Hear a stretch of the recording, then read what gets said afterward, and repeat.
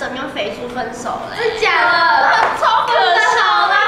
本来就应该要分手。超讨哎哎，不是啊，我后来才发现，升高二你们三个同班的，然后结果我跟连影却分开嘞。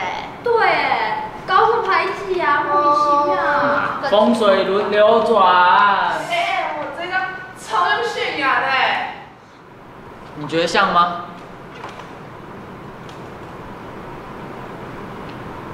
不像。